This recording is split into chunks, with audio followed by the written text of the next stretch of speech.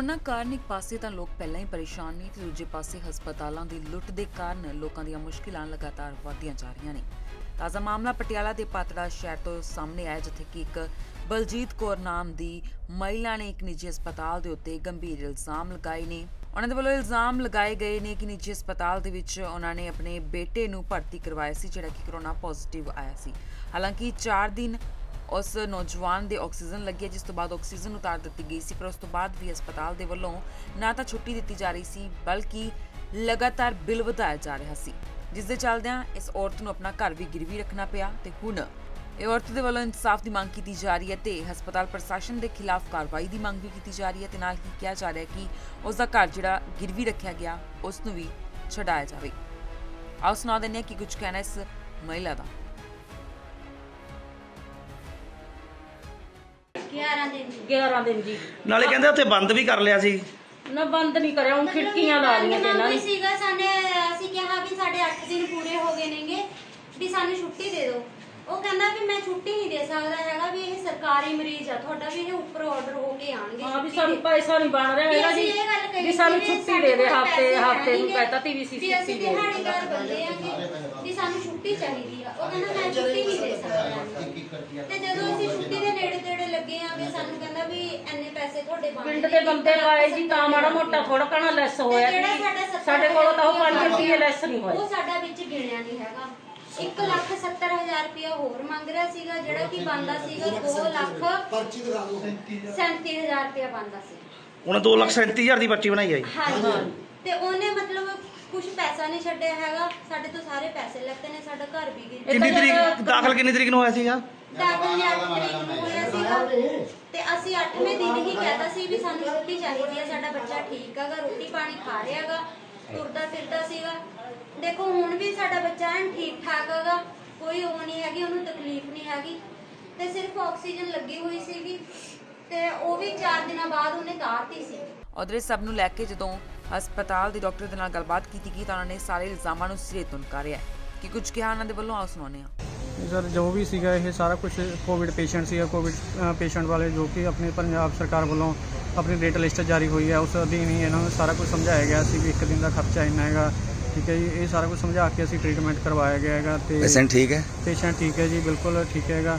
ਤੇ ਉਹ ਆਪਣੀ ਇੱਛਾ ਨਾਲ ਹਸਪਤਾਲ 'ਚ ਲੈ ਕੇ ਗਏ ਸੀ ਅਸੀਂ ਲਾਮਾ ਕੀਤਾ ਹੈਗਾ ਨਾ ਕਿ ਰੈਫਰ ਕੀਤਾ ਜਿਹੜੇ ਆਰੋਪ ਲਾਏ ਮਤਲਬ ਤੁਸੀਂ ਕੀ ਕਹੋਗੇ ਉਸ ਦੇ ਬਾਰੇ?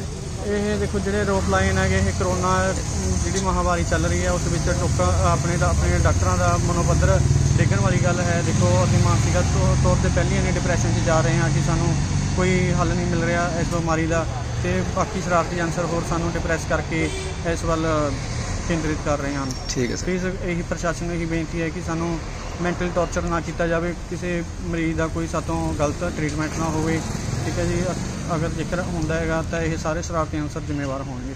ਉਧਰ ਇਸ ਸਾਰੇ ਮਾਮਲੇ ਨੂੰ ਲੈ ਕੇ ਪਾਤਰਾ ਦੀ ਐਸਡੀਐਮ ਦੇ ਨਾਲ ਜਦੋਂ ਗੱਲਬਾਤ ਕੀਤੀ ਗਈ ਤਾਂ ਉਹਨਾਂ ਦਾ ਕਹਿਣਾ ਸੀ ਕਿ ਮਾਮਲੇ ਦੀ ਜਾਂਚ ਕੀਤੀ ਜਾਏਗੀ। ਜਾਂਚ ਦੇ ਵਿੱਚ ਜੋ ਵੀ ਸਾਹਮਣੇ ਆਏਗਾ ਉਸ ਨੂੰ ਲੈ ਕੇ ਕਾਰਵਾਈ ਵੀ ਜ਼ਰੂਰ ਕੀਤੀ ਜਾਏਗੀ। ਉਹਨਾਂ ਦੀ ਪ੍ਰਾਈਮ ਰਿਸਪੌਂਸਿਬਿਲਟੀ ਇਸ ਟਾਈਮ ਤੇ ਸਭ ਤੋਂ ਵੱਧ ਉਹਨਾਂ ਦੀ ਹੈ। ਸੋ ਨੋ ਡਾਊਟ ਉਹ ਡਟੇ ਹੋਏ ਨੇ, ਆਪਣੀ ਜਾਨ ਨੂੰ ਦੀ ਪਰਵਾਹ ਨਾ ਕਰਦੇ ਹੋਏ ਪੇਸ਼ੈਂਟਸ ਨੂੰ ਕੇਅਰ ਦੇ ਰਹੇ ਨੇ। ਅਸੀਂ ਉਸ ਵਾਸਤੇ ਉਹਨਾਂ ਦਾ ਬਹੁਤ-ਬਹੁਤ ਧੰਨਵਾਦ ਕਰਦੇ ਹਾਂ। ਲੇਕਿਨ ਇਸ ਵਿੱਚ ਅਸੀਂ ਨਹੀਂ ਚਾਹੁੰਦੇ ਕਿ ਕੋਈ ਪਬਲਿਕ ਨੂੰ ਹਰਾਸਮੈਂਟ ਹੋਏ ਕਿਸੇ ਤਰੀਕੇ ਦੀ। ਗਵਰਨਮੈਂਟ ਵੱਲੋਂ ਜੋ ਰੇਟਸ ਡਿਸਾਈਡ ਕੀਤੇ ਹੋਏ ਨੇ ਹਰ ਚੀਜ਼ ਦੇ ਸੋ ਗਵਰਨਮੈਂਟ ਵੱਲੋਂ ਇਨਸਟਰਕਸ਼ਨਸ ਨੇ ਕਿ ਉਸ ਤੋਂ ਵੱਧ ਹਸਪੀਟਲਸ ਚਾਰਜ ਨਹੀਂ ਕਰ ਸਕਦੇ। ਸੋ ਇਸ ਸੰਬੰਧ ਵਿੱਚ ਅਸੀਂ ਆਪਣੀ ਪੂਰੀ ਇਨਕੁਆਇਰੀ ਕਰਾਂਗੇ ਤੇ ਜੇਕਰ ਕੋਈ ਇਸ ਤਰ੍ਹਾਂ ਦੀ ਗੱਲ ਸਾਹਮਣੇ ਆਏਗੀ ਤਾਂ ਅਸੀਂ ਡੈਫੀਨੇਟਲੀ ਹਸਪੀਟਲ ਦੇ ਖਿਲਾਫ ਵੀ ਪੂਰੀ ਬਣਦੀ ਕਾਰਵਾਈ ਜਿਹੜੀ ਉਹ ਕੀਤੀ ਜਾਏਗੀ। ਇਹਨਾਂ ਨੇ ਕੋਈ ਸੀਐਮ ਨੂੰ ਆਵੇ ਸ਼ਿਕਾਇਤ ਕੀਤੀ ਸੀ? ਉਹਦੇ ਆਧਾਰ ਤੇ ਕਾਰਵਾਈ ਹੋਈ ਜਾਂ ਕਿੰਨੀ ਵੀਡੀਓ ਵਾਇਰਲ ਹੋਈ? ਨਹੀਂ ਸਾਨੂੰ ਉੱਪਰੋਂ ਵੀ ਕੰਪਲੇਂਟ ਆਈ ਹੈ ਪਲੱਸ ਵੀਡੀਓ ਜਿਹੜੀ ਹੈਗੀ ਉਹ ਤਾਂ ਚਲੋ ਹੈਗੀ ਹੈ ਆਪਣੇ ਆਪ 'ਚ। ਬਾਕੀ ਕਮਿਸ਼ਨਰ ਸਾਹਿਬ ਵੱਲੋਂ ਵੀ ਸਾਨੂੰ ਇਹ, ਜਿਹੜੀ ਕੰਪਲੇਂਟ ਹੈ ਉਹ ਫਾਰਵਰਡ ਹੋਈ ਸੀ ਤਾਂ ਅਸੀਂ ਉਹਦੇ ਵਿਦ ਰਿਸਪੈਕਟ ਐਕਸ਼ਨ ਲੈ ਰਹੇ ਹਾਂ। ਕਿਹੜੇ ਵੈਕਸੀਨ ਦੀ ਮੀਟਿੰਗ ਕੀਤੀ ਜੀ ਪਿੰਡਾਂ ਦੇ ਵਾਸਤੇ ਕੋਈ ਕਮੇਟੀਆਂ ਪਿੰਡਾਂ 'ਚ ਬਣਾਈ ਜਾਂਦੀ ਡਰੋ ਦੇ ਲੋਕਾਂ ਨੂੰ ਜਿਹੜੀ ਹੈਗੀ ਜੀ ਪਿੰਡਾਂ ਦੇ ਵਿੱਚ ਹੁਣ ਅਸੀਂ ਇੱਕ ਕਮੇਟੀਆਂ ਬਣਾਈਆਂ ਨੇ ਜਿਹਦੇ ਵਿੱਚ ਕਿ ਪੰਚਾਇਤ ਸੈਕਟਰੀ ਹੈ ਪਟਵਾਰੀ ਹੈ ਜਿਹੜਾ ਕੋਆਪਰੇਟਿਵ ਸੈਕਟਰੀ ਹੈ ਆਸ਼ਾ ਵਰਕਰ ਆਂਗਨਵਾੜੀ ਵਰਕਰ ਹਰ ਇੱਕ ਪਿੰਡ ਵਿੱਚ ਅਸੀਂ ਕਮੇਟੀਆਂ ਕਨਸਟੀਟਿਊਟ ਕਰ ਦਿੱਤੀਆਂ ਨੇ। ਗਵਰਨਮੈਂਟ ਦਾ ਜਿਹੜਾ ਟੀਚਾ ਹੈ ਕਿ ਆਉਣ ਵਾਲੇ ਅ, ਕੁਝ ਦਿਨਾਂ ਦੇ ਵਿੱਚ ਵਿੱਚ 100% ਸਕਰੀਨਿੰਗ ਜਿਹੜੀ ਪਿੰਡਾਂ ਦੀ ਉਹ ਕੰਪਲੀਟ ਕਰਨੀ ਹੈ ਤੇ ਜਿਹੜੀ ਵੱਧ ਤੋਂ ਵੱਧ ਲੋਕਾਂ ਨੂੰ ਵੈਕਸੀਨੇਸ਼ਨ ਲਈ ਟੈਸਟਿੰਗ ਲਈ ਪ੍ਰਮੋਟ ਕਰਨਾ ਹੈ। ਸੋ ਕਾਫੀ ਸਕਰੀਨਿੰਗ ਸਾਡੀ ਹੋ ਚੁੱਕੀ ਹੈ, ਚੱਲ ਰਹੀ ਹੈ। ਸੋ ਅਸੀਂ ਸਾਡਾ ਟਾਰਗੇਟ ਹੈ ਕਿ ਹਫ਼ਤੇ ਜਾਂ 10 ਦਿਨ ਦੇ ਵਿੱਚ ਵਿੱਚ ਅਸੀਂ ਪੂਰੀ ਇਹਨੂੰ ਸਕਰੀਨਿੰਗ ਕਰਕੇ ਤਾਂ 100% ਜਿਹੜੇ ਕਿ ਆਸ਼ਾ ਵਰਕਰ ਜਾਂ ਉਹਨਾਂ ਨੂੰ ਲੋਕੀ ਸਿੰਪਟੋਮੈਟਿਕ ਦਿਖਦੇ ਨੇ, ਉਹਨਾਂ ਦੀ 100% ਟੈਸਟਿੰਗ ਜਿਹੜੀ ਉਹ ਕੀਤੀ ਜਾਏਗੀ। ਇਸ ਤੋਂ ਇਲਾਵਾ ਅਸੀਂ ਪਿੰਡਾਂ ਦੇ ਵਿੱਚ ਸੈਕਟਰ ਆਫੀਸਰਸ ਵੀ ਲਗਾਏ ਨੇ, ਜਿਹੜੇ ਕਿ 4-5 ਜਾਂ 6-7 ਪਿੰਡਾਂ ਦੇ ਉੱਪਰ ਇੱਕ ਸੈਕਟਰ ਆਫੀਸਰ ਹੋਏਗਾ, ਜਿਹੜਾ ਕਿ ਸਾਰੀ ਰਿਪੋਰਟਿੰਗ ਜਿਹੜੀ ਹੈ ਉਹ ਕਰੇਗਾ। ਸੋ ਮੇਰੀ ਲੋਕਾਂ ਨੂੰ, ਪਿੰਡ ਦੇ ਲੋਕਾਂ ਨੂੰ ਅਪੀਲ ਹੈ ਕਿ ਹੁਣ ਬਿਨਾਂ ਕਿਸੇ ਵੀ ਅਫਵਾਹਾਂ ਦੇ ਵਿੱਚ ਨਾ ਯਕੀਨ ਰੱਖਦੇ ਹੋਏ ਵੱਧ ਤੋਂ ਵੱਧ ਟੈਸਟ ਕਰਾਉਣ, ਕਿਸੇ ਵੀ ਤਰ੍ਹਾਂ ਦਾ ਕਰੋਨਾ ਦਾ ਲੱਛਣ ਸਾਹਮਣੇ ਆਉਂਦੇ ਹੋਏ ਵੇਟ ਨਾ ਕਰਨ ਤੇ ਤੁਰੰਤ ਜਿਹੜਾ ਆਪਣਾ ਨੀਅਰੈਸਟ ਹਸਪੀਟਲ ਹੈ ਸੀਐਸਸੀ ਹੈ, ਉਸ ਨਾਲ ਸੰਪਰਕ ਕਰਕੇ ਇਸ ਦੀ ਪ੍ਰੋਪਰ ਮੈਡੀਕੇਸ਼ਨ ਜਿਹੜੀ ਹੈ ਉਹ ਸ਼ੁਰੂ ਕਰਨ। ਕੁਝ ਕੇਸਿਸ ਸਾਡੇ ਕੋਲ ਪਿੰਡਾਂ 'ਚੋਂ ਆ ਰਹੇ ਨੇ, ਜਿੱਥੇ ਕਿ ਆਕਸੀਜਨ ਸੈਚੂਰੇਸ਼ਨ 80 80 ਹੋਣ ਦੇ ਬਾਵਜੂਦ ਵੀ ਲੋਕੀ ਹਸਪੀਟਲਸ ਨਹੀਂ ਜਾ ਰਹੇ। ਸੋ ਇਹ ਬਹੁਤ ਹੀ ਇੱਕ ਆਸ਼ਾਜਨਕ ਗੱਲ ਹੈ ਕਿ ਸਿਰਫ ਆਪਣੇ ਵਹਿਮਾਂ ਦੇ ਸਿਰ ਤੇ ਉਹਨਾਂ ਨੂੰ ਘਰ ਬੈਠ ਕੇ ਮਰਨਾ ਮਨਜ਼ੂਰ ਹੈ, ਲੇਕਿਨ ਬਾਹਰ ਹਸਪੀਟਲ ਉਹ ਨਹੀਂ ਜਾਣਾ ਚਾਹੁੰਦੇ। ਦੱਸਦੀ ਕਿ ਇਹ ਕੋਈ ਪਹਿਲਾ ਮਾਮਲਾ ਨਹੀਂ ਹੈ, ਬਲਕਿ ਇਸ ਕਾਲ ਦੇ ਦੌਰਾਨ ਕਈ ਪ੍ਰਕਾਰ ਦੇ ਅਜਿਹੇ ਮਾਮਲੇ ਦੇਖਣ ਨੂੰ ਮਿਲੇ ਨੇ ਜਿੱਥੇ ਹਸਪਤਾਲਾਂ ਦੀ ਲੁੱਟ ਤੋਂ ਆਮ ਲੋਕ ਪਰੇਸ਼ਾਨ ਹੋਏ ਨੇ। ਪਰ ਸਰਕਾਰ ਨੂੰ ਚਾਹੀਦਾ ਹੈ ਕਿ ਅਜਿਹੀਆਂ ਖਬਰਾਂ ਦੇ ਵੱਲ ਧਿਆਨ ਦਿੱਤਾ ਜਾਵੇ ਤੇ ਪ੍ਰਾਈਵੇਟ ਹਸਪੀਟਲ ਜਿਹੜੇ ਲੁੱਟ ਲੋਕਾਂ ਦੀ ਕਰ ਰਹੇ ਨੇ, ਉਸ ਤੋਂ ਆਮ ਲੋਕਾਂ ਨੂੰ ਬਚਾਇਆ ਜਾਵੇ। ਪਟਿਆਲਾ ਤੋਂ ਕਮਲਜੀਤ ਦੀ ਰਿਪੋਰਟ ਸਕਾਈ ਨਿਊਜ਼ ਪੰਜਾਬ।